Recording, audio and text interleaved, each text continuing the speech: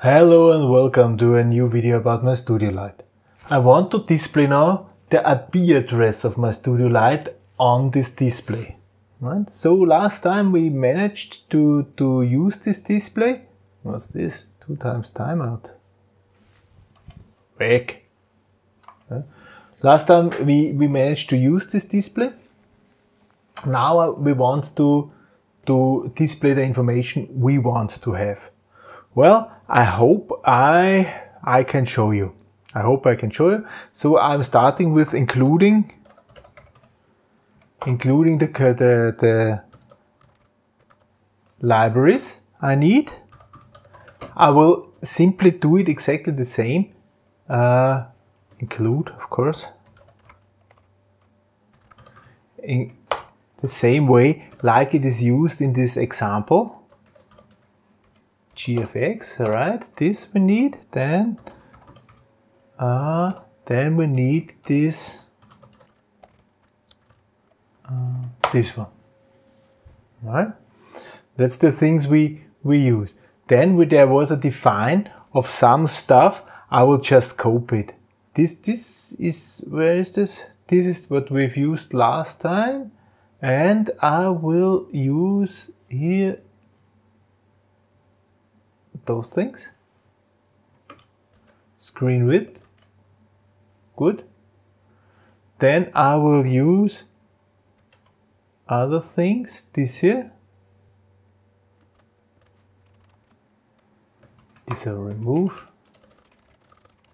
This looking good. This should already work, right? So the display should already work. However, in initialization, if we are looking in this, I've read this, this quite uh, sometimes here, there is a loop forever. I don't want to loop this forever. I have to do it different. I will have a new status. I call it display. This should be bit number seven. And I will in the it was connected in the in the setup. Where is the setup? Here's the setup. Here we try now to connect to to our display exactly the same way uh, but we will not loop forever. We will say uh, bit clear status bit status byte start display so we will memorize okay, we have not connected proper to the display. And here we will make bit set, exactly this. So we are connected to the display. Good. And then we will here, the next thing which is happening, display display, I will call display clear display first and then display display. Display display means this clear display will clear the memory inside and this will then bring a blank screen hopefully. Okay, that's that. So now we have allocated the display and we're displaying something. And whenever we are connecting to, to Wi-Fi, okay, this is already correct. So uh, here. We are connected, we started the, here. We say if bit read status byte status display. Then we are also putting something out on the display. And also here found out there is somewhere somewhere is display a text and it's uh, how is this? Zack clear display exactly that from from. And then we will say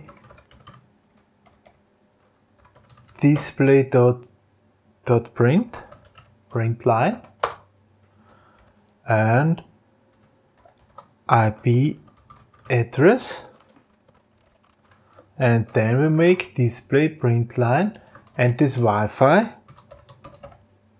dot local IP. That's it. Now we should see every time we are connecting to, to uh, Wi-Fi, we should see the IP address at this display. Hopefully. think that's it. think that's it. So upload.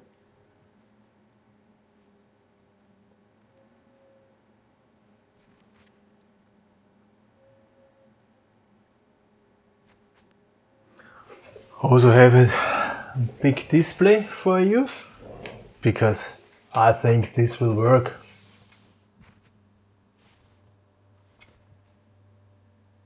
Try to connect.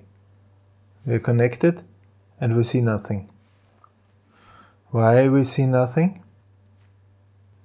Ah, of course, display, display. Just because writing it, just because writing it to somewhere, I have to call display dot display. We need to display it as well. Yeah? So upload once again.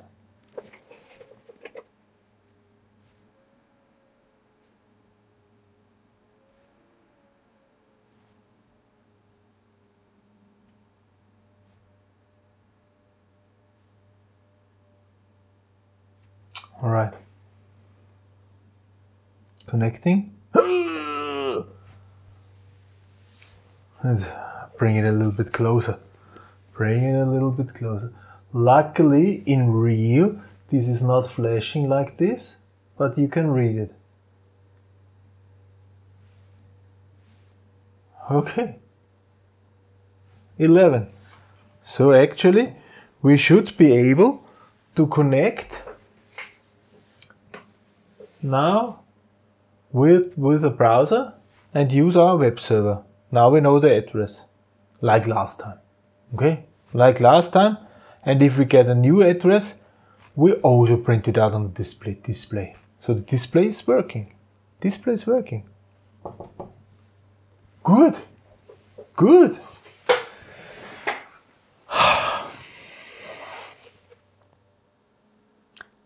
I have some plans with this now.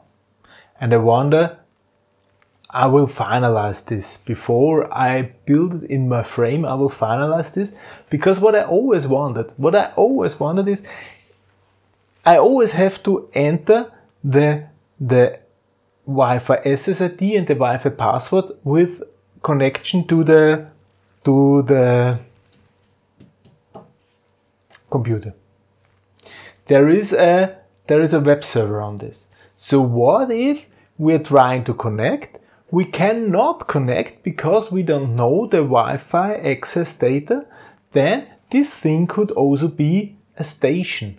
Not only a client, a Wi-Fi client, but also be an access point, Wi-Fi access point. So if we are not connecting to this access point, uh, if we are not connecting to our existing Wi-Fi network, we will produce an access point, make a web server where you can configure your Wi-Fi data. We will store this Wi-Fi data and then if we can connect to a Wi-Fi, we will enter there. You know what I mean? So that we can configure our thing with our web interface. We will see. We will see if this is working or not. Yeah? So first step is that if we are not able to connect to a Wi-Fi network, that we put this in station mode, not in station mode, but in access point mode, and then run the web server and, and provide a web interface. Oh, this will be next video. So next video, check if we can connect to Wi-Fi network. If not, make our own Wi-Fi network. All right. For this time, thank you very much for listening. Goodbye.